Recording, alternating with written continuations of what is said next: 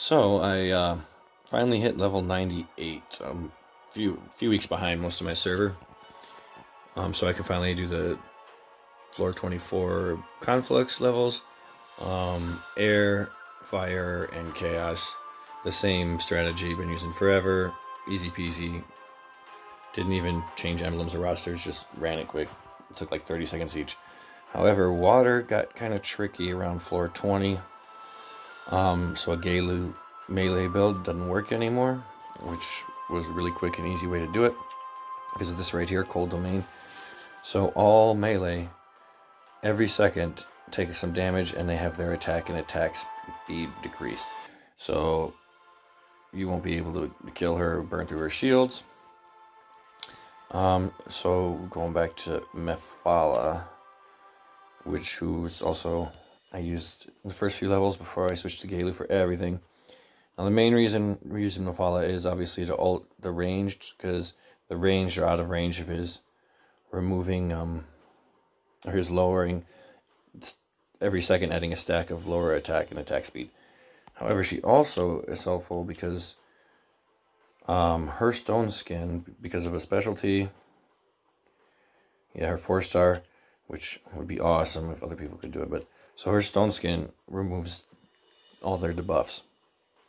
So um, every 15 seconds, we can clear all the melee's debuffs. So they'll still be doing some damage, but not enough to take her out. Um, and then I marked her with fast attack. I'm guessing that'll be ideal. And um, her alt, I don't know. I have her kind of leveled up. You don't need her that leveled up, but you need your alt, her alt long enough to protect the blast against all the ranged. So I'm using, um, I'm not doing any burn. I'm, I'm going all bleed because you need burn bleed to get through the shield. Um, I'm going to try it with my Pegasus, who's like level 60 something. She sucks. I could use a mercenary Pegasus, what I did the last level. Um, because she applies bleed. Orcs apply bleed. I'm bringing the regular two sharpshooters just for damage in between the shields to speed things up. Um, Dendroid bleeds if he's being hit, and he slows for the double strikes from the archers.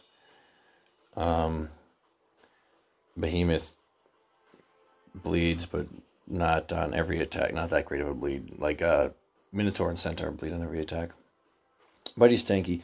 And since they've added backup units, you can't put backup units in tanks, so I, I took the Angel out and uh, put her in backup. So him, so if I get to the point where my backup troops spawn, no res some people, Gog just gets burns up. I don't know if it'll they'll even.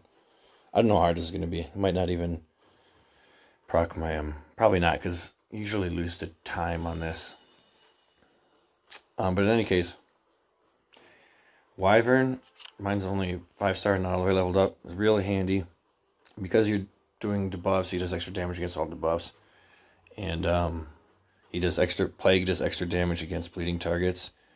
And then also reduces healing, which the Mummy does. Mummy does as well, so I'm bringing him because of uh, this ability here. Every two seconds it heals a little bit. Apparently he's a guy. I thought it was always thought it was a chick. But it says him. Maybe translation's just horrible. Oh yeah, it always is in this game. So anyway, that's the gist of the strategy. Um, that constant healing by dampening that with plague and a, and a mummy will save time. It's a race against time. Let's give it a shot.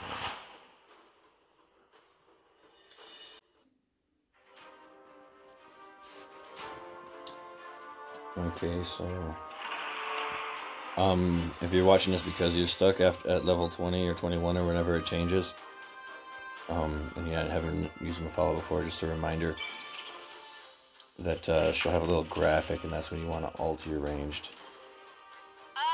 That one right there. Ooh, did I miss it? No.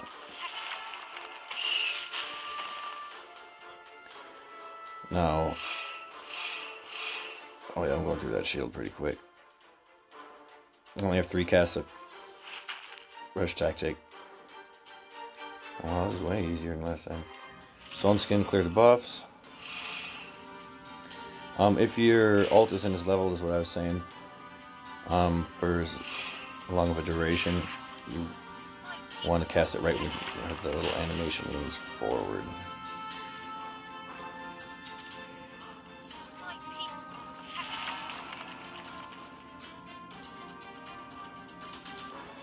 Debuffs on melee.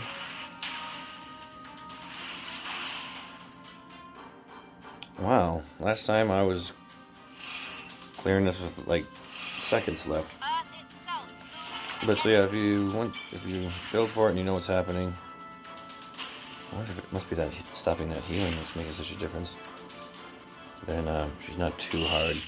If you're not get through the shields quick enough, add more burn bleed units. If you're not killing her fast enough, oh, I lost my sharpshooters. Um, add more DPS. Doesn't seem that hard, but only two of the 98s on my server have done it. And there were some hard ones before this. Next up, Earth. Or at least I hope so.